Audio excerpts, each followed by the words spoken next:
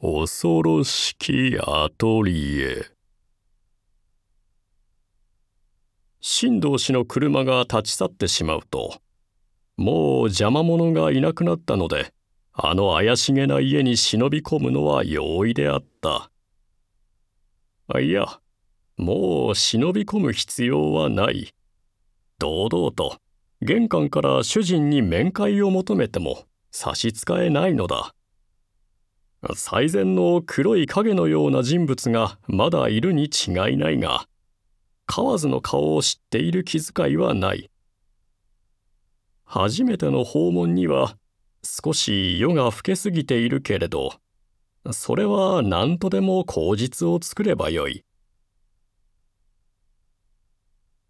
よし思い切って主人に会ってやろう。青年探偵は今宵はひどく冒険好きであった。日頃からの風変わりな性格が安倍川で命拾いをしてから一層危険を冒して人の意表に出ることを面白がっているように見えた。彼は車を降りてあの壊れかかった門を入っていった。正面に2階建ての西洋館らしいものが黒くそびえ玄関とおぼしきあたりにかすかな光がさしていた。近づいてみるとガラスの破れた開き戸が閉まっている。手をかけると別に締まりもしてないらしくわけもなく開いた「ごめんください」声をかけると正面のドアが開いてパッと明るい電灯の光が差しその光の中へ妙な人物が現れて「誰だ!」と怒鳴った頭の毛を総髪のように長く伸ばしてピンと跳ねた口ひげを蓄え白いブラウズを着た中年の人物ひどく痩せた背の高い男である。おそらく画家であろう。僕は通りかかりのものですがさっきなんだか妙なものがこちらへ入ってくるのを見ましたのでちょっとご注意しておこうと思いまして。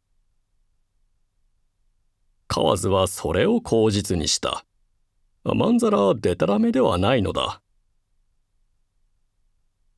なんだって？妙なものが。画家らしい男は大きな声で叱りつけるように聞き返した。暗くてよくわからなかったのです。真っ黒な服装をした怪しい人物が最前お家へ忍び込むのを見たのです。泥棒かね。はははは。俺のところにゃ何も盗むものなんかありゃしないよ。かきつぶしの油絵が少し置いてあるきりだからね。やっぱり画家であった。河津は相手のブラウズ姿を眺めながら、こいつこそ、あの五重の塔の首吊り男と深い関係があるのではないかと考えた。あのカバンの中に入っていた血染めのブラウズは昔この男が着ていたのではないかと疑った。そう考えるとただ顔を見ただけで帰る気にはなれなかった。何か口実を作ってこの不思議な人物と話がしてみたいと思った。別に変わったことがなければいいのですがもしお休みになっていてご存じないといけないと思いまして。あ、先生は絵描きさんですか？あ僕、近頃この辺へ越してきたものですが、分かりもしないくせに絵が大好きなんです。失礼ですが、先生は何とおっしゃるお方ですか？厚かましい質問をしたが、相手は物にこだわらぬ性格と見えて別に変な顔をするでもなくぶっきらぼうな調子で答えた。俺は三田村というヘボ絵描きだよ。君は絵が好きかい？あ、なんなら下手な絵を見せてあげてもいい。上がらないかね？河津の尋ね方も突飛であったが、この家の主人の答えは一層非常識であった。この夜更けに見も知らぬ男を家にあげようというのだ。よほど風変わりな性格と見える。遠慮することはない。俺一人なんだ。誰もいないんだから。さあ、こっちへ来たまえ。先に立ってドアの向こうへ入っていくので、河津は靴を脱いでその後に従った。ドアをくぐると、そこは普通の部屋ではなくて、非常に天井の高いアトリエのような広間であったが、その四方の壁には、大小さまざまの西洋画が額に入れてかけてあった。河津は無言でそれらの絵を見回していたがやがてある奇怪な事実に気づくとさすがの素人探偵も愕然として顔色を変えないではいられなかった実に不思議なことにはそれらの二十数枚の絵にはことごとく五重の塔が描かれていた。大きな油絵もあれば水彩画もありパステル画のようなものもあったがそれらがどれもこれも五重塔の前景あるいは部分画で塔というものを遠近のあらゆる角度から眺めたものであった。だが不思議はそればかりではなかった。薄暗い伝統なので初めは気づかなかったが中でも一番大きな油絵の額をよく見るとそこに描かれた五重の塔の頂上の屋根の下に何か異様な黒いものがぶら下がっていることが分かった。塔の屋根の四隅には小さな風卓が描いてあるのだがその黒いものは風卓よりはずっと大きくて頭と手足がついていた。人の姿なのだ。河津はもう少しであっと声を立てるところであった。それはいつかの晩上野公園の五重塔で見たあの景色とそっくりではないか。名古屋の鶴田正夫が五重塔のてっぺんで首をくくって自殺したあの姿とそっくりではないか。この妙な画家はあの首吊り男をどこからか見ていたのかしら。そしてその印象を油絵に描いたのであろうか。いや、そうではない。この部屋にある絵はどれもこれも新しいものでないことは一目でわかる。皆年月の経ったものばかりだ。とするとこの絵画家はあの五重塔の首吊り事件を数年以前に予見していたのであろうかそれともただ偶然の一致であろうかふと目をそらして別の絵を見るとそこにはもっと気味の悪いものがあったそれはパステルで描いた塔の部分画であったが塔の頂上の屋根の一部分を下から見上げたところでその屋根の端から画面いっぱいに一人の男がぶら下がっていた。その首吊り男はあのルンペンのような鶴田ではなくてまだ二十歳ぐらいの爪襟の洋服を着た学生風の青年であったやっぱり偶然の一致なのだ。この画家は上野の首吊り事件を写生したわけではなかったのだ。なおよく見ると二十幾枚の額の下半には同じような首吊り男が書き添えられていることが分かってきた。あるものは豆粒のように小さく、あるものは顔の部分だけを大写しに、あるものは足だけを画面に表すというように、大小さまざまの首吊り男が実に巧みに描かれていた。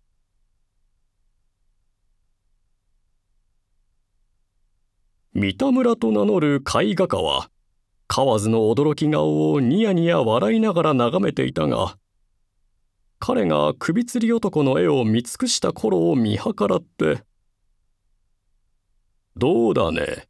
気に入ったかね」と揶揄するように尋ねるのであった「ええ気に入りましたとも。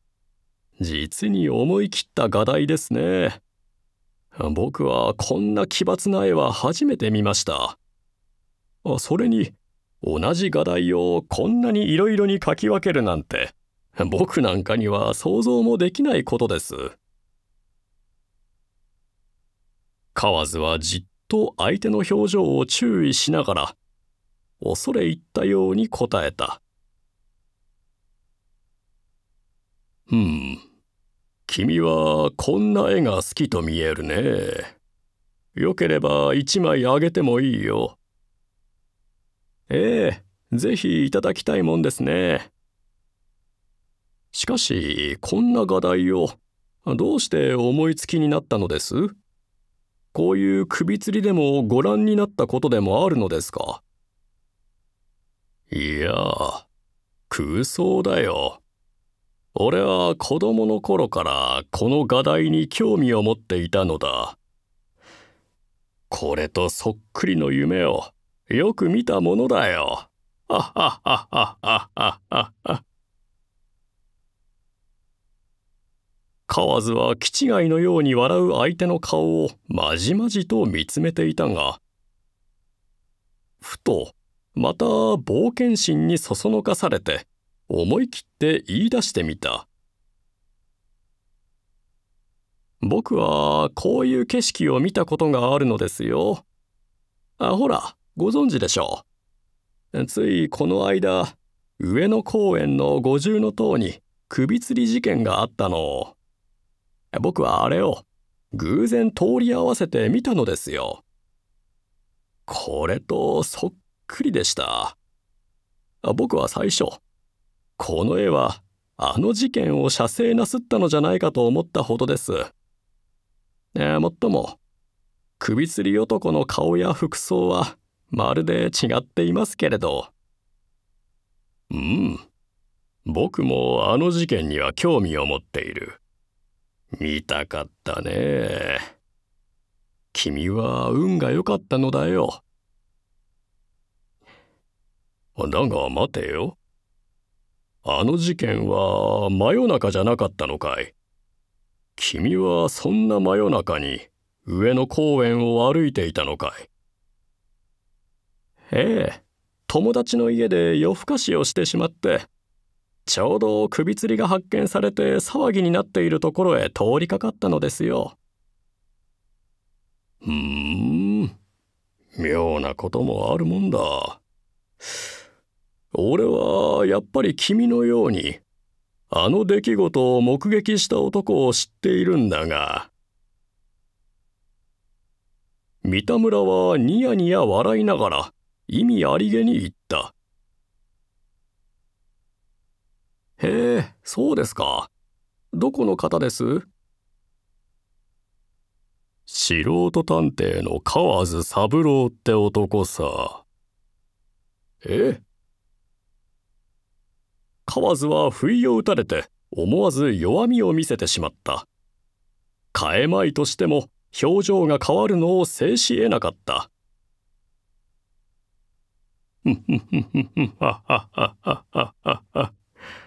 その河津という男は妙なやつでね。あの首吊り事件にひどくこだわっているということだ。何か大きな犯罪でも隠れているように考えて夢中になって走り回っているということだ。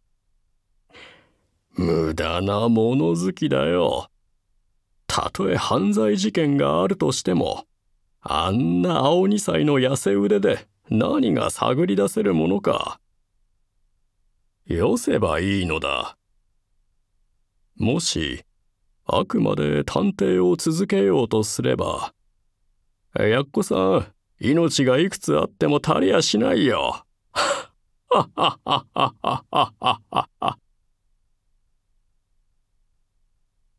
絵画家は挑発を揺るがせ、ピンと跳ねたちょびひげを震わせて、あざけるようにカラカラと笑った。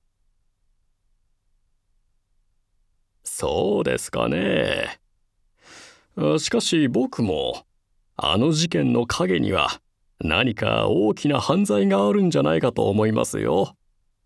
僕が素人探偵だったら、やっぱりその人のように命がけで探偵をする気になるでしょうね。河津も負けてはいなかった。うんふん。君は、なかなか面白いことを言うね。それじゃあ一つ君に見せるものがあるから、こちらへ来たまえ。三田村はそう言いながら一方の壁に近づいていった。その壁の上部にはフェンシングの長剣が2本斜めに工作して飾り付けてあったその十文字の剣の上に何か白いものがかけてある。よく見るとそれはドクロであった。長い歯をむき出したドクロが2本の剣の真上で気味悪く笑っていた。工作した剣と一個のドクロとの配置が何か偶意的な模様のように見えた。三田村はその下へ行くと背伸びをして長剣の一本を壁から外して右手に持った俺は西洋の剣術が好きでね少し習ったことがあるんだが昔西洋ではこいつで決闘をやったもんだよ。この鋭い切っ先で相手の胸を突き通すんだ。言いながら彼は左手でその切っ先を持ち弾力のある刀身を弓のように曲げてみせて敵意に満ちた目でじろじろと河津を眺めるのであった。ははははは。それは面白そうですね。しかし、お話を聞いてますと、なんだかあなたも、あの首吊り事件には無関心ではないようですね。ひどく興奮していらっしゃるじゃありませんか。その件で、カワーズという素人探偵を突き殺そうとでもおっしゃるのですか。うん。即刻手を引かなければ、俺はあいつをやっつけるかもしれない。こうしてね、三田村はちょびひげを震わせて怒鳴ったかと思うと、長剣を構えて、河津の胸に狙いをつけてみせた。両足を大の字に開いて、左手を上げて、今にも突きかかる規制を示した。何をするんです？危ないじゃありませんか。河津はぎょっとして思わず身構えをした